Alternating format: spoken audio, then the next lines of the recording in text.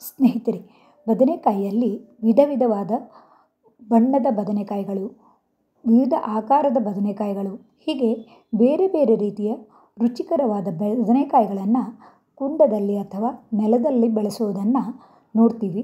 ಈ ಬದನೆಕಾಯಿಯಲ್ಲಿ ವಿವಿಧ ರೀತಿಯ ಅಡುಗೆಗಳಲ್ಲಿ ಬಳಸಿದವಾಗ ತುಂಬ ಖುಷಿಯನ್ನು ಕೊಡುತ್ತೆ ಮತ್ತು ಆರೋಗ್ಯಕರವಾಗಿರುತ್ತೆ. ಇದೀಗ ನಮ್ಮೂರು ಕರ್ಕಿಯ ಮನೆಯಲ್ಲಿ ಬೆಳೆದ ಈ ಉರುಟಾದ ಬೆಳ್ಳಗಿನ ಬದನೆಕಾಯಿಯಿಂದ ಹಸಿ ಮಾಡೋದು ಹೇಗೆ ಅಂತ ನೋಡೋಣ ಬನ್ನಿ. ನೋಡಿ, ನಮ್ಮ ಮನೆಯಲ್ಲಿ ಬೆಳೆದ ಬದನೆಕಾಯಿಯು ಈ ರೀತಿಯಾಗಿ ಉರುಟಾಗಿ ಬೆಳ್ಳಗಿನ ಬದನೆಕಾಯಿಯಾಗಿದೆ. ತಿನ್ನೋಕ್ಕೆ ತುಂಬ ರುಚಿಯಾಗಿರುತ್ತೆ.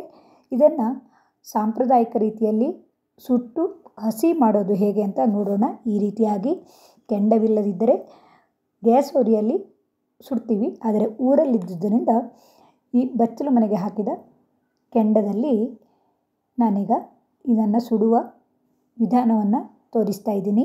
ನೋಡಿ, ಈ ರೀತಿಯಾಗಿ ಕೆಂಡದಲ್ಲಿ ಈ ಬದನೆಕಾಯಿಯನ್ನು ಇಟ್ಟು ಅದರ ಮೇಲೂ ಕೆಂಡವು ಬರುವಂತೆ ಇಟ್ಟರೆ ಬೇಗನೆ ಸುಟ್ಟು ಬರುತ್ತೆ ಮತ್ತು ಪರಿಮಳವು ತುಂಬ ರುಚಿಕರವಾಗಿರುತ್ತೆ.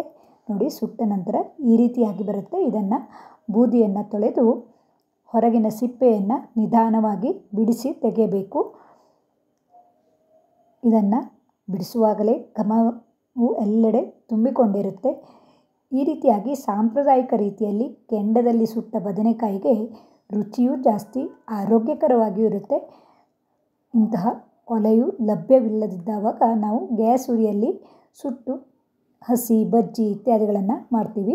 ಇವುಗಳಲ್ಲಿ ಹೆಚ್ಚಾಗಿ ಹುಳುಗಳು ಇರೋದಿಲ್ಲ ಯಾಕೆಂದರೆ ಮನೆಯಲ್ಲಿಯೇ ಬೆಳೆದ ಉತ್ತಮ ರೀತಿಯ ಬದನೆಕಾಯಿ ಆದ್ದರಿಂದ ತೊಟ್ಟು ಮತ್ತು ಸಿಪ್ಪೆಯನ್ನು ತೆಗೆದು ಸ್ವಲ್ಪ ಸೌಟಿನಿಂದ ಈ ರೀತಿಯಾಗಿ ಜಜ್ಜಿಟ್ಟುಕೊಳ್ಳಬೇಕು. ಇದಕ್ಕೆ ಸ್ವಲ್ಪ ಉಪ್ಪನ್ನು ಬೆರೆಸಿದರೆ ರುಚಿಯು ಚೆನ್ನಾಗಿರುತ್ತೆ. ನಂತರ ಹಸಿ ತೆಂಗಿನಕಾಯಿಯ ತುರಿಗೆ ಒಂದು ಹಸಿಮೆಣಸನ್ನು ಹಾಕಿ ನೀರನ್ನು ಬೆರೆಸಿ ನುಣ್ಣಗೆ ರುಬ್ಬಿಟ್ಟುಕೊಳ್ಳಬೇಕು. ಈ ರೀತಿಯಾಗಿ ತೆಂಗಿನ ತುರಿಯನ್ನು ಮಿಕ್ಸಿ ಜಾರ್ಗೆ ಹಾಕಿ ತಕ್ಕಷ್ಟು ನೀರನ್ನು ಬೆರೆಸಿ ನುಣ್ಣಗೆ ರುಬ್ಬಿಕೊಂಡ ನಂತರ ಈ ರೀತಿಯಾಗಿರುತ್ತೆ. ನಂತರ ಒಂದು ಬಾಣಲೆಯಲ್ಲಿ ತುಪ್ಪದ ಒಗ್ಗರಣೆಯನ್ನು ತಯಾರಿಸಿಕೊಳ್ಳಬೇಕು. ಉದ್ದಿನಬೇಳೆ ಸಾಸಿವೆ, ಒಣಮೆಣಸನ್ನು ಹಾಕಿ ಒಗ್ಗರಣೆಯನ್ನು ತಯಾರಿಸಿಟ್ಟುಕೊಂಡು ನಾವು ರುಬ್ಬಿಟ್ಟುಕೊಂಡ ತೆಂಗಿನಕಾಯಿಯ ಮಿಶ್ರಣಕ್ಕೆ ಹಾಕಿಕೊಳ್ಳಬೇಕು.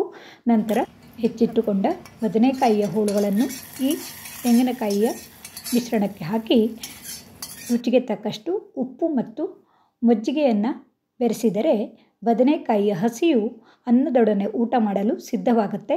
ಹವ್ಯಕರಲ್ಲಿ ತೊಂಬಳಿಯ ನಂತರ ಊಟ ಮಾಡುವ ಪದಾರ್ಥವೇ ಹಸಿಯಾಗಿರುತ್ತೆ. ಈ ರೀತಿಯಾಗಿ ಹಸಿಯನ್ನು ಮಾಡಿದವಾಗ ಇದಕ್ಕೆ ರುಚಿಯನ್ನು ಹೆಚ್ಚಿಸೋಕೆ ಈರುಳ್ಳಿಯನ್ನು ಬೆರೆಸಬಹುದು. ಈರುಳ್ಳಿ ಬೇಡವಾದರೆ ಹಾಕದೆಯನ್ನು ಹಾಗೆ ಊಟ ಮಾಡಬಹುದು. ಈ ಹವ್ಯಕರ ಹಸಿಯು ನಿಮಗೂ ಇಷ್ಟವಾದರೆ ನೀವು ಮಾಡಿ ಹೇಗೆ ಬಂತು ಅನ್ನೋದನ್ನು ತಿಳಿಸೋಕೆ ಮರೆಯದಿರಿ. ಅನ್ನದೊಡನೆ ಊಟ ಮಾಡಲು ತುಂಬ ರುಚಿಯಾಗಿರುತ್ತೆ.